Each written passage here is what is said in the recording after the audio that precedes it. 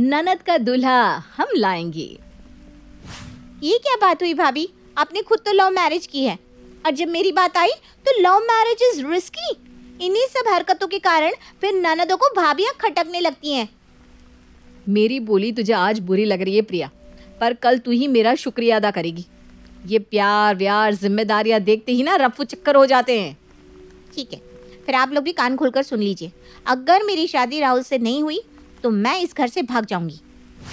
सवेरे सवेरे जब घर की बेटी घर से भागने की बात करे आप समझ ही सकते हैं कि घर वालों पर क्या बीतेगी। पर क्या कारण था जो प्रिया इतनी परेशान हो गई थी और ये कहने पर मजबूर हो गई थी? प्रिया अपने परिवार में अपने मम्मी पापा बड़े भाई और भाभी के साथ रहती थी। प्रिया के भाई की अभी अभी शादी हुई थी। चलो निकालो दो हज़ार का गुलाबी नोट भैया। क्यों भाई? अभी तो शादी में इतना खर्चा हुआ है। अब एक पति तेरे भी हाथ में रख दूँ? कितना तो ले लिया था तूने शादी में मुझसे। हम्म दिखा दिया ना आपने। शादी के पहले तो कैसे मेरे आगे पीछे डोलते थी? प्रिया पापा से मेरी शादी की बात कर लो। प्रिया और शिल्पा बहुत अच्छी है। एक बार मिल तो लो। और जैसे सारी मेहनत करके मैंने शादी करवा दी तो दो हज़ार भी भारी पड़ गया भैया। गलती तेरी ही है प्रिया। दो हज़ार क्यों? सोने के झुमके मांग। तू तो मेरी प्यारी बहना है ना? अभी देख तेरी भाभी आई है। अब रोज उसकी फरमाइशें पूरी करूँगा। फिर बचेगा क्या कुछ मेरे पास? देख ये है ग्यारह रुपये। तेरी फरमाइशें पूरा करेगा तेरा पति। बात तो ठीक कही बेटा तूने। ज़्यादा छोटी भी नहीं है प्रिया। तुझसे साल भर की छोटी होगी है साल भर की कहाँ संतोष की माँ? संतोष तो दुर्गा पूजा के समय में हुआ था। याद है जब दुर्गा जी की मूर्ति का विसर्जन हो रहा था और आपको दर्द उठाया था? कैसे मैं आपको लेकर भागा था डॉक्टर के पास? और जब प्रिया हो रही थी तो बहुत ज़ोरों की बारिश हो रही थी। सिमी सिमी ठंड भी आ गई थी। तो सितंबर का वक्त होगा वो। मेरे हिसाब से तो साल भर से भी कम का फ़र्क होना चाहिए दोनों में। आप बिना क्या बही खाता लेकर बैठ गए। हिसाब उस चीज़ का नहीं कर रही हूँ मैं। उम्र तो हो गई है ना लड़की की। बेटे की तो शादी कर दी है। धीरे धीरे प्रिया के लिए भी लड़के देखना शुरू कर दीजिए। अभी देखना शुरू करेंगे तब तो साल दो साल में कोई ढंग का लड़का समझ में आएगा। ये सुनते ही शर्माती हुई प्रिया अपने कमरे में चली जाती है और सीधा राहुल को फ़ोन लगाती है। वो वक्त आ गया राहुल जिसका हमें इंतज़ार था। मेरे घर वाले मेरी शादी करने का सोच रहे हैं। तुम तो जानते हो कि मेरे भैया और मुझमें बस दस महीने का फ़र्क है। तो तुम फ़िक्र क्यों कर रही हो प्रिया? मैं तो खुद इसी दिन का इंतज़ार कर रहा था। तो बताओ किस दिन आओ अपने परिवार वालों को लेकर तुम्हारे घर। कहो तो अभी आ जाओ।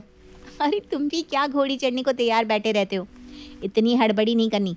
पहले मैं घर में सबको बता तो दूँ कि मेरी लाइफ में ऑलरेडी कोई है। प्रॉब्लम तो नहीं होनी चाहिए क्योंकि भैया ने तो पहले ही लव मैरिज कर लिए वो भी इंटर कास्ट एटलीस्ट तुम मेरी कास्ट के तो हो। एक दो दिन गुजरने दो, मैं बात करती हूँ घर पर। इसी तरह दो चार दिन गुजर जाते हैं। पर आप तो जानती ही हैं कि एक बार अगर लड़की की शादी की उम्र हो गई फिर जहाँ सब साथ बैठे तो पहले टॉपिक वही निकलता है। रात को खाने के टेबल पर सभी एक साथ खाना खा रहे थे, तभी शिल्पा कहती है, कैसे मुरझा गया है बेचारी हमारी प्रिया का चेहरा? उस वक्त शादी की बात शुरू तो की सबने, पर आगे नहीं बढ़ाई। ऐसे आराम से धीरे धीरे काम करने से नहीं चलेगा। जल्द से जल्द लड़के देखना शुरू करो।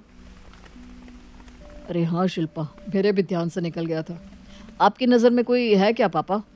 पहले तो एक काम कर प्रिया अपनी अच्छी सी फ़ोटो निकाल कर हमें दे दे और एक बार डेटा बना ले तो सही रहेगा। अरे आप साफ़ साफ़ बोलिए ना वरना प्रिया आज की लड़की है। कहीं उसने हॉट पैंट में फ़ोटो भेज दी तो होती हुई शादी भी कट जाएगी। मैं तुम्हें एक अच्छी सी साड़ी निकाल कर देती हूँ शिल्पा उसी में फ़ोटो खिंचवाना वही सही रहेगा। नहीं सही नहीं रहेगा भाभी। मैं किसी के लिए कभी साड़ी पहनकर कभी जीन्स पहनकर तो कभी सूट पहनकर फ़ोटो नहीं खिंचवाने वाली। ये क्या बात हुई बेटा? ऐसा ही होता है। अब साड़ी में फ़ोटो तो खिंचवानी ही पड़ेगी ना वरना लड़के वालों को हम क्या दिखाएँगे? और दूसरा इसे खाना वाना भी सिखा दे शिल्पा। थोड़ा प्रैक्टिस कर लेगी प्रिया। इतने भी बुरे दिन नहीं आए मेरे मम्मी। और हाँ आप लोगों को कोई लड़का देखने की ज़रूरत नहीं है मैं किसी को पसंद करती हूँ। राहुल नाम है उसका। वो भी आप लोगों से मिलना चाहता है। क्या? तुम किसी को पसंद करती हो? और अभी तक इस बारे में किसी को पता ही नहीं है। तुम्हें तो बताया होगा ना प्रिया ने संतोष? नहीं, मुझे तो खुद अभी पता चल रहा है तुम्हारे साथ। ये लो, हमारे रिलेशनशिप को एक महीना तक नहीं हुआ था कि तुमने प्रिया को सब बता दिया था। और ये देखो, ये छुपी रुस्तम तुमसे सब छुपा कर बैठी है। कौन है वो लड़का? घर वर है कि नहीं, उसका परिवार में कितने लोग हैं? अपने भैया को उसका सारा बायोडाटा दे दो, वो पता करके आएँगे। आजकल के लड़कों का कोई भरोसा नहीं है, कहीं कोई फ्रॉड ना हो। फ्रॉड क्यों होगा भाभी? मैं कोई बच्ची थोड़ी ना हूँ। मास्टर्स किया है मैंने, वो मेरे साथ ही पढ़ता था। और उसकी सरकारी नौकरी भी है। और वो नौकरी भी उसने बस मेरे लिए मेरी खातिर हासिल की ताकि जब वो मेरा हाथ मांगने आए तो उसके पास दिखाने के लिए कुछ तो हो। इतना पढ़ा लिखा लड़का और वो भी किसी और के लिए नौकरी करे। ये सब बस हवा में कहने की बातें हैं प्रिया। कोई किसी के लिए नौकरी नहीं लेता सब खुद के लिए नौकरी लेते हैं। वैसे कितने दिन से जानती हो तुम उसे? ऐसे तो वो ग्रेजुएशन से मेरे साथ ही पढ़ रहा था पर हमारी पहचान एक साल पहले हुई है। ये देखिए मम्मी जी एक साल का प्यार है। और इसके पीछे तुम दिमाग लगा रही हो। छोड़ो प्रिया पापा जी तुम्हारे लिए अच्छे से अच्छा लड़का ढूंढ कर लाएँगे। ये सुनते ही प्रिया गुस्से में खाना छोड़कर अपने कमरे में चली जाती है। तुमने ऐसी बात क्यों कही शिल्पा? प्रिया बच्ची नहीं है। उसने किसी लड़के को खुद के लिए पसंद किया होगा तो ज़रूर कुछ खास बात होगी उसमें। एक बार मिल लेते हैं लड़के से। वो तो तुम मिलते रहना बेटा पर अभी जाकर अपनी बहन को समझा। लगता है वो नाराज़ हो गई। आजकल के लड़कों का क्या भरोसा है? पर आप लोगों को फिर भी उस लड़के से मिलना है तो मिलिए, मुझे क्या मतलब? अगली सुबह उठते ही शिल्पा अपने घर पर एक पंडित जी को बुला लेती है और अपनी ननद की कुंडली उन्हें देते हुए कहती है, ये देखिए ना पंडित जी, ये है मेरी ननद की फ़ोटो और ये उसकी कुंडली। न जाने क्या हो गया है उसे? बड़ा अजीब व्यवहार कर रही है। पता नहीं, लगता है किसी ने कुछ कर दिया है। मेरी कुंडली यहाँ लाइए भाभी, ये सब क्या हरकत है? अपने मन के लड़के से शादी करने की इच्छा क्या ज़ाहिर कर दी मैंने? तो मेरी कुंडली में प्रॉब्लम आ गई। अरे तो क्या गलत बोल दिया मैंने? ये प्यार व्यार कुछ नहीं होता। जैसे ही ज़िम्मेदारी नाम का शेर आता है, सबसे पहले प्यार नाम का हिरण ही निगला जाता है। लगता है आप भूल गई भाभी कि आपने भी लव मैरिज की है।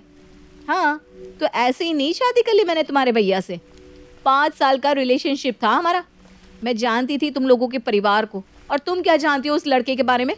एक साल के रिलेशनशिप में इन्हें शादी करनी है। और इसी तरह हर वक्त शिल्पा प्रिया को टोंटी मारती रहती। यहाँ तक कि शिल्पा कई जगह अपनी ननद का बायोडेटा तक भिजवा देती है और इधर उधर अपनी ननद की शादी की बात चलाना शुरू कर देती है। एक शाम जब सभी साथ में बैठे हुए थे।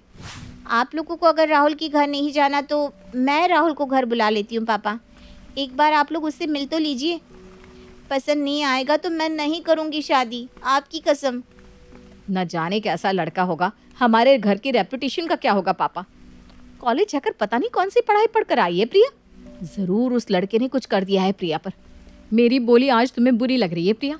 पर कल तू ही मेरा शुक्रिया अदा करेगी। इसलिए इस लड़के का चैप्टर बंद करो और मैंने एक करोड़पति घर के लड़के का रिश्ता ढूंढा है तुम्हारे लिए। वो कल तुम्हें देखने आ रहे हैं उससे मिल लो। ठीक है फिर। आप लोग भी कान खोलकर सुन लीजिए। अगर मेरी शादी राहुल से नहीं हुई तो मैं इस घर से भाग जाऊँगी। अगली सुबह उठते ही प्रिया राहुल को लगातार कॉल लगाती है पर राहुल उसका फ़ोन उठाना बंद कर देता है। और फिर the number you are trying to call is currently busy आज मैं और राहुल भागकर शादी करने वाले थे और राहुल ने नंबर ही ऑफ़ कर दिया। मतलब भाभी सही थी। नहीं नहीं कोई बात तो होगी। प्रिया को कुछ समझ में नहीं आता। वो अपने कमरे में जाकर फूट फूट कर रोने लगती है। मैं क्या करूँ? किसके पास जाऊँ? भैया हाँ भैया को सब बताऊँगी वो मेरी मदद ज़रूर करेंगे। और रोती हुई प्रिया जैसे ही भागते हुए हॉल में जाती है तो क्या देखती है? राहुल अपने माता पिता के साथ हॉल में बैठा था। लीजिए राहुल जी आ गई आपकी होने वाली बीवी। राहुल तुम यहाँ ये सब? कल रात फ़ोन करके तुम्हारी भाभी ने मुझे यहाँ आने को बोला प्रिया। तुझे क्या लगा? मैं तेरी शादी के अगेंस्ट हूँ? नहीं नहीं बिल्कुल नहीं।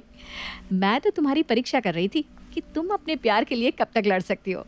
और तुम लड़ी, बिल्कुल पीछे नहीं हटी। तब मुझे समझ में आ गया कि तुम्हारा प्यार सच्चा है। राहुल से ज़्यादा तुम्हें कोई चाह भी नहीं सकता, प्रिया। और प्रिया से ज़्यादा आपको और कोई नहीं चाहेगा, राहुल जी। तो अब आप रोना बंद कर दीजिए, प्रिया जी, और जाकर कपड़े बदल कर आइए। अभी ही तुम दोनों की सगाई कर देते हैं। और कुछ इस तरह प्रिया को मिल जाता है, राहुल। और इस कहानी की हो जाती है हैप्पी एंडिंग पंजाबी लड़कियाँ शौकीन खाने की, खिलाने की, नाचने की, गाने की, सजने की, संवरने की।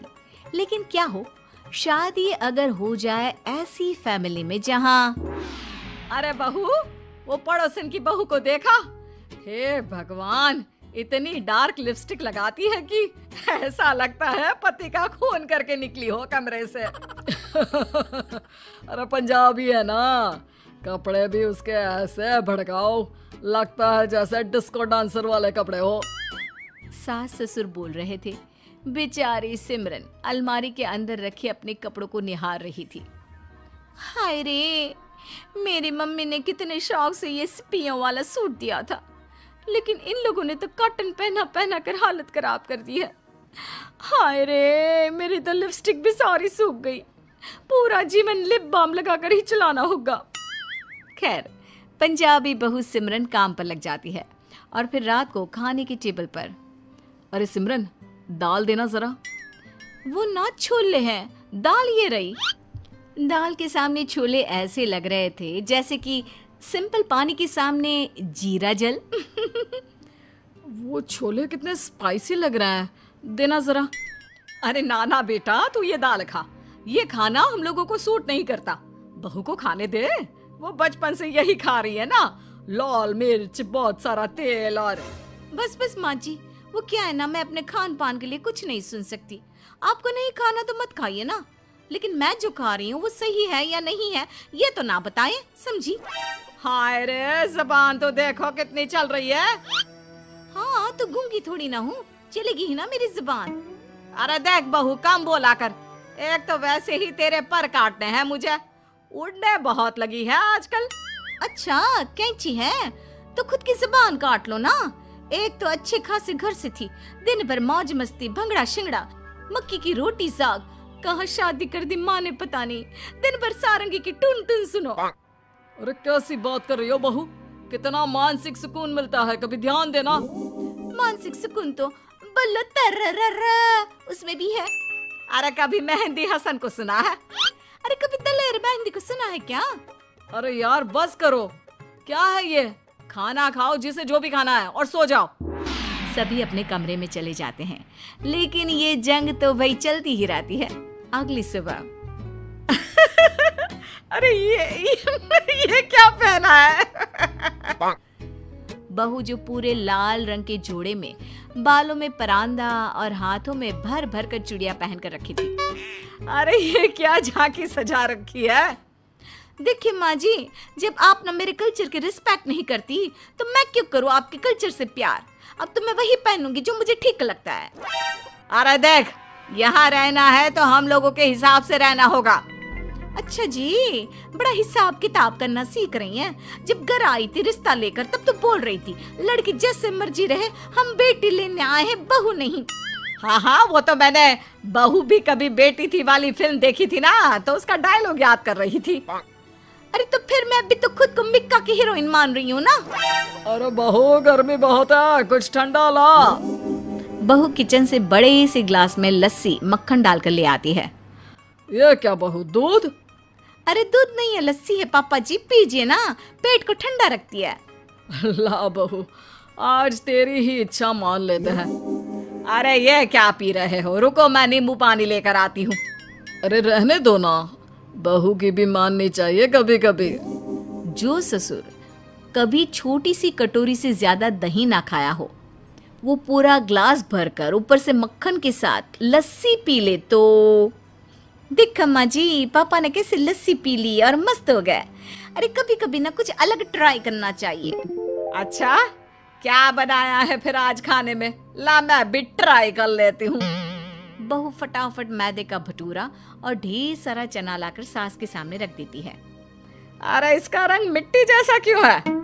मसाला? माँ जी मसाला है मिट्टी नहीं खाइए तो। बेटा पानी की बोतल ला दे बस तू साथ में। बहू का बनाया छोला भटूरा सास खा तो लेती है लेकिन अगली सुबह हाय रे सर में दर्द हो रहा है और मेरा तो पेट ही खराब हो गया है। ये लस्सी का ग्लास ऊपर से मक्खन। आ, कुछ भी पचा हो ऐसा लग नहीं रहा। अरे मैंने तो समझ लो मैदे में लाल मिर्च लपेट कर खा ली है। हाय रे। हे भगवान मुझे तो नींद आ रही है मैं तो सोने जा रहा हूँ। अरे क्या हो गया आपको? आप तो कभी दिन में सोते नहीं। पता नहीं ये लस्सी पीकर क्या हो गया। मैंने कहा था सिंपल और हल्का खाना खाया करिए। दोनों बेटे को सारी बात बताते हैं। क्या है सिमरन? माँ पापा को इतना हैवी खाना क्यों खिला दिया? अरे सब नाटक है तुम्हारे माँ पापा के। दिखावा है दिखावा। इतना भी कुछ नहीं खिला दिया कि बीमार होने का नाटक कर रहे हैं। अरे पूरा भारत खाता है ऐसा खाना। यही दो लोग हैं जिन्हें प्रॉब्लम है। अरे नहीं बहू, हम नाटक नहीं कर रहे हैं। रहने दो माँ। वैसे मैं कह रहा हूँ कि आज के बाद जो भी तुम्हें खाना है वही बनाओ। लेकिन किसी को ज़बरदस्ती कुछ नहीं खाना है। खाना पीना हर किसी की अपनी पसंद का होना चाहिए। बहू को गुस्सा आ जाता है। देखो जी, अब तो मैंने भी कसम खा ली है कि इस घर में अब वही बनेगा जो आप लोग खाते हैं। कुछ दिनों बाद बहू के माता पिता आते हैं। अरे माँ पापा, आप लोग आइए आइए। हम यहाँ तेरे पास पूरे एक हफ़्ते के लिए आए हैं, समझी? अरे ये तो बहुत खुशी की बात है समदन जी। कुछ दिन हम लोगों का भी मन लग जाएगा। अब क्या था? सुबह नाश्ते के वक्त। ये लो माँ, पोहा और ये ग्रीन टी खाने में। माँ, ये मूंग की हल्की दाल और ये पतले फुलके। फिर रात में, माँ, ये लो सूप खाना खाने के बाद सब अपने कमरे में चले जाते हैं जहाँ सिमरन के पापा उसकी माँ से कहते हैं। ये क्या है जी? यहाँ कैसा खाना नाश्ता है? मेरा तो पेट ही नहीं भर रहा। अरे ये हल्का खाना खाकर तो लग रहा है कि कहीं मैं ही हल्की ना हो जाऊँ। मैं तो कहता हूँ चलो कहीं और चलते हैं होटल में ही रह लेंगे। या कुछ बहाना बनाकर बाहर चलकर खाना खा लिया करेंगे। क्यों? हाँ यही ठीक है। कल वॉक के बहाने बाहर जाकर कुछ खा लेंगे। अगले दिन बहू के माँ पापा बाहर जाते हैं और पास के रेस्टोरेंट में बैठकर खाने लगते हैं कि एक पड़ोसी देख लेता है घर आकर। क्या समझी जी? आप लोगों ने तो हम लोगों की मोहल्ले में बेइज्जती करा दी। अरे पड़ोसी कह रहे हैं कि हम आपको खाना नहीं दे रहे हैं जो आप लोग बाहर जाकर खा रहे हैं। अरे नहीं नहीं वो बात यह है कि हम लोगों को इतना हल्का खाने की आदत नहीं है ना तो पेट भर नहीं रहा है। कैसी बात करिए तुम्हारी माँ सिमरन? ये तो बहाना है। खाना खाकर भी किसका पेट नहीं भरता? अरे पता नहीं क्यों नाटक कर रहे हैं ये लोग। मैं समझ गई। मुझे माफ़ कर दो। मेरे मम्मी पापा को कुछ ना कहो। मैंने सास ससुर को जो कहा वो सही नहीं था। जिसको जिस खाने की आदत हो, उसी से उसका गुजारा होता है। समझ गई हूँ मैं जी। माफ़ कर दो।